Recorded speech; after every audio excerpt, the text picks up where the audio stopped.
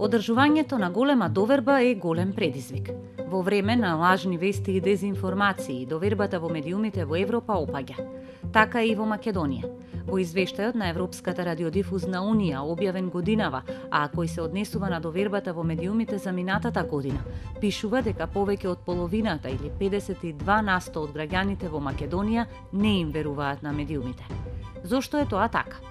Прво заради тоа што веќе се изместени границите на а, традиционалните медиуми новинарство, се повеќе имаме така наречено граѓанско новинарство, се повеќе имаме блогови, се повеќе имаме луѓе кои што сами лиферуваат информации или регистрираат некакви си мини портали кои што немаат професионално ангажирани новинари, каде што се пишува се и се што или каде што се прават копи-пейст вести и се до тоа доведува до една ситуација на генерална недоверба во медиумите. Долгата таблоидизација на медиумите, скандализацијата и инструментализацијата од страна на политичките елити водат до тоа граѓаните да губат се повеќе и повеќе доверба во медиумите. Втора причина за урнисаната доверба во македонските медиуми е еднодецениското владење на предходната власт на ВМРО ДПМНЕ. Со години партијата ги контролираше речиси сите медиуми одеше до таму што директно се нарачуваа прилози, па дури и нивниот редослед во вестите на најгледаните национални телевизии. Во Македонија 11 години имавме една номенклатура на власт која што по секоја цена сакаше да ги контролира медиумите и контентот што тие го имитуваат, па нас не се случуваше еден феномен истата информација и истите извештаи и вести и прилози да одат буквално како пресликани на неколку национални медиуми едно по друго. Имавме една ситуација во која што со години власта се обидуваше и успеваше да стави рака на мейнстрим медиумите во Македонија. Да не оперираме со проценти, но да над 80-90% од мейнстрим медиумите беа под капата на една партија.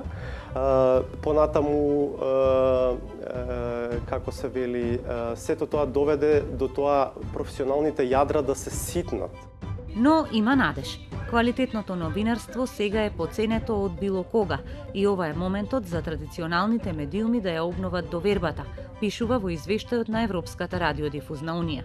И додека генералниот тренд покажува опагање на довербата во медиумите, довербата во телевизиите во Македонија расте. Телевизијата се смета за помалку подложна на манипулации за разлика од останатите медиуми. Истражувањата покажуваат дека сликите од местото на настанот и репортерите на местото на случувањата ги уверуваат гледачите дека тоа што го гледаат е вистина. По Петревски пак зборува за клучната улога на телевизиите во време на најсериозната политичка криза во Македонија која траеше две години, од 2015 до 2017 година и која доведе до смена на власта. Факт е дека и до промените во општеството немаше да се стигне ако дел од телевизиите кои што остана нечепнати да кажеме од тогашната владеачка партија успеа дополнително да се еманципираат, да се наметнат пред публиката и пазарот. Кировски вели дека споредено со интернет сферата, голема е разликата во сериозноста и веродостојноста на она што го емитуваат телевизиите. Интернет сферата е толку контаминирана од лажни, од петпарачки, од сензационалистички, од непрофесионални информации, што во споредба со тоа она што го емитува телевизиите на вистина е зрачи со една сериозност, одговорност кон информациите и од тој аспект природно е и да расте довербата кај граѓаните. А довербата е директно поврзана со слободата на медиумите, или, како што пишува во извештајот на Европската радиодифузна унија, односот е право пропорционален. Колку послободни медиуми, толку поголема доверба.